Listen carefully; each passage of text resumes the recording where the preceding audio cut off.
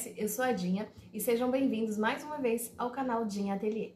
O vídeo de hoje eu tô trazendo uma peça super utilitária que toda dona de casa eh, com certeza vai achar super útil e vai vender muito no seu ateliê, que é o nosso puxa-saco Big. Olha, é tão grandão que quase não dá pra pôr ele todo na tela. Ele tem essa lateral assim retinha, tem caixinha de leite na lateral, tem esse acabamento aqui embaixo em janelinha, ó, com as caixinhas de leite aqui. E essa janelinha que eu vou ensinar todo o acabamento para ficar o acabamento perfeito, a forma correta de fazer. E vou ensinar o acabamento também aqui dessa janelinha aqui, que é da mesma forma que a gente faz em roupa, tá? É um, como se fosse um debrum. Ele é assim na parte de trás, ó, bem reto sequinho, Aqui também vou ensinar. Eu não coloquei manta, mas se você quiser que dê mais uma estrutura, você pode colocar manta aqui ou entretela ou usar um tecido mais grosso, tá? Eu ensino todas as medidas pra vocês, ele não tem molde, é apenas medida. Vocês vão ter acesso a todas as medidas, vão estar aqui embaixo no box de informação. Lembrando que todos os tecidos que eu usei nesse vídeo são da minha parceira aqui do canal, a Ponto X Tecidos. Tá o link aqui embaixo, vocês têm um cupom de desconto lá. E essa etiqueta aqui é da minha parceira Vera Guimarães, do Ateliê Duas Meninas, tá? Então, contato de todos os meus parceiros aqui embaixo. Então, vamos deixar de conversa? Bora costurar? Vamos lá, pessoal. Vamos fazer. A gente vai pegar aqui pro corpo 46 por 41 duas vezes, pra aba 14 por 20 duas vezes também, pra alcinha 5 por 17 e pro acabamento superior 5, 7 por 17 e acabamento inferior 10 por 17. A gente vai pegar aqui o corpo, aquele que tem 46 por 41. Nessa extensão do 46, a gente vai achar o meio aqui da parte superior, ok? Que a gente vai fazer o acabamento com aquele acabamento que eu chamei de acabamento superior, que tem 7 por 17. A gente vai achar o meio do corpo. Vamos pegar aqui o acabamento superior e vamos achar o meio também ali da parte dele do comprimento de 17. Vamos posicionar direito com direito aqui. Na parte de baixo, subindo, a gente vai marcar 3 centímetros no, no centro, vamos fazer um risco no meio, e nesse risco a gente vai é, marcar meio centímetro de cada lado, e vamos fazer como se fosse uma janelinha. Só que nesse aí a gente só vai costurar é, laterais e inferior, a parte superior a gente não costura porque a gente vai cortar e fazer como se fosse um, um revel. Ok? Aí aqui eu vou colocar o alfinete e vou passar uma costura nessa volta aqui. Eu no, início aí eu mostrei na máquina, gente, mas depois eu não vou mostrar tudo na máquina não, porque tava meio difícil para costurar na mesa que eu tava usando, tá? Que o meu ateliê estava sendo usado nesse momento, então eu tava tendo que costurar na sala. Aí eu vou costurar, dar restauração no início no final, pronto. Agora a gente vem com a tesoura e corta aquele risco no meio. Pronto. Agora eu vou jogar todo mundo para trás. E eu vou vir dobrando. Aí eu não fui no ferro, mas quando você for fazer sua, o seu puxa-saco, você vai no ferro, ok?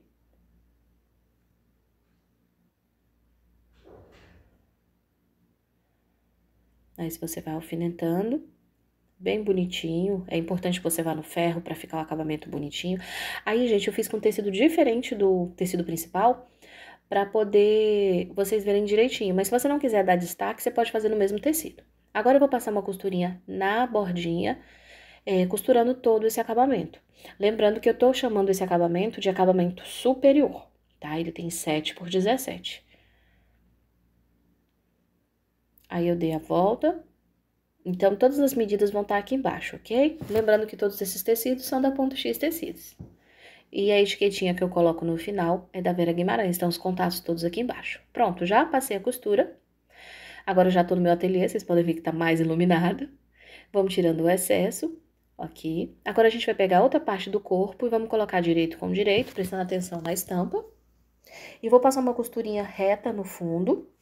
Essa costurinha, eu passo uma costurinha reta e depois eu passo uma costurinha de acabamento, um zigue-zague. Mas se você tiver overlock, pode ser overlock também. Mas aí, como eu já tava usando a, a doméstica, eu preferi fazer assim com o zigue-zague, tá? Que fica um acabamento bonito. Agora eu vou passar o zigue-zague. Mas nada impede de você fazer com viés também, tá? Pode ser acabamento todo em viés, também fica muito bonito, o acabamento fica impecável. Vai agregar mais valor ainda à sua peça, né? Pronto, agora a gente vai abrir aqui no meio. A gente vai jogar a costura para um lado só, vai passar ferro, ok?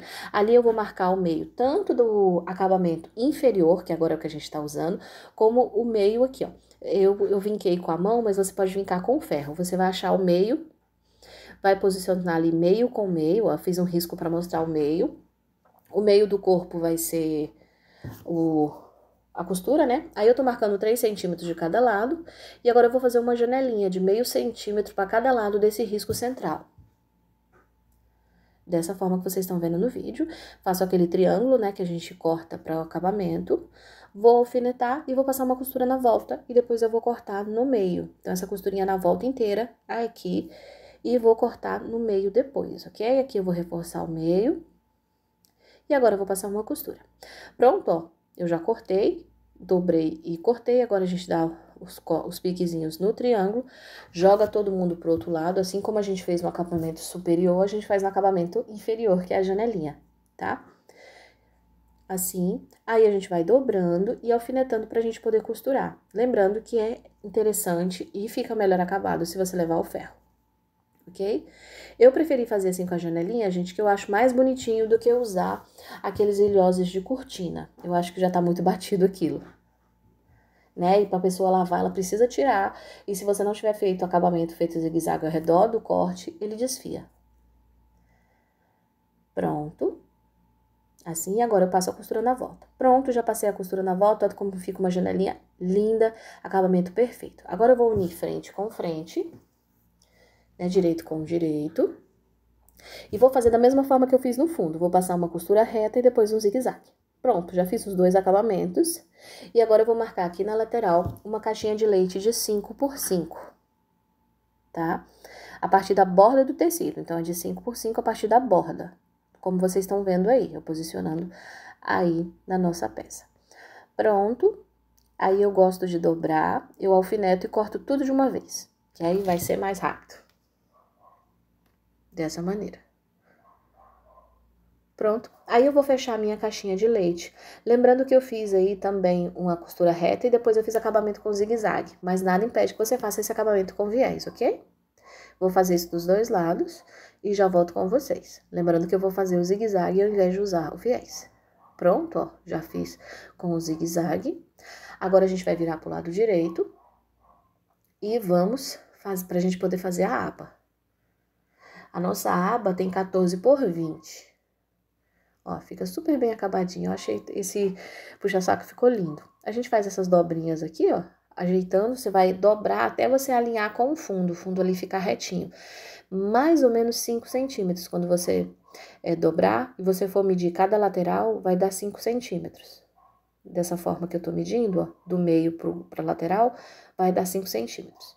Você faz só essa dobrinha por enquanto, confere se tá certo. Quiser já alfineta, para não sair do lugar. E a gente vai reservar essa parte porque a gente vai fazer a aba. Agora a gente vai pegar aquele tecidinho de 14 por 20. Vamos na parte... Primeiro a gente vai fazer a alcinha, tá? O acabamento ela tem 5 por 17. Vamos dobrar, dobrar, passar uma costurinha de um lado do outro. Pronto. Agora a gente vai pegar aqui a nossa que tem 20 por 14, né? Na, ali na, na extensão dos 20, ó. A gente vai dobrar. A altura é 14, a largura é 20, tá? Eu usei uma régua, mas você pode usar um prato para arredondar. Vamos achar o meio para a gente poder pôr a alça. Eu coloco a alcinha ali dessa forma e passo uma costurinha, ó, já tá presa. Venho com a outra, ponho por cima alfineto. E eu vou fazer uma dobra na barra dessa aba de um centímetro, mais ou menos, de um a dois centímetros. Se, aí eu dobrei um centímetro, mas eu aconselho que você dobre dois, tá? Vai ficar mais fácil e a aba não vai ficar tão grande quanto a minha. E agora passo uma costura na volta. Pronto, já passei a costura na volta. Aí eu vou pegar minha tesoura de pique, de picotar.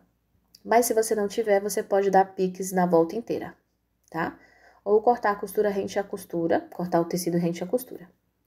Pronto, agora eu vou desvirar.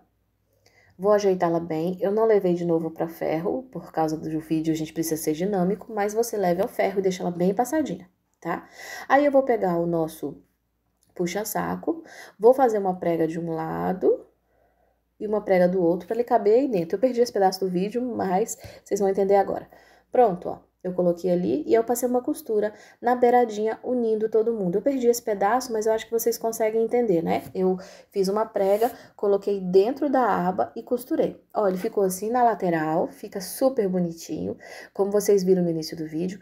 E aí eu coloquei aqui um a etiqueta. Eu embuti para dentro dois dedos, mas você pode embutir menos se você preferir, tá bom? Então é isso. Espero que vocês tenham gostado do vídeo de hoje. Um beijo, fica com Deus, até o próximo vídeo. Tchau!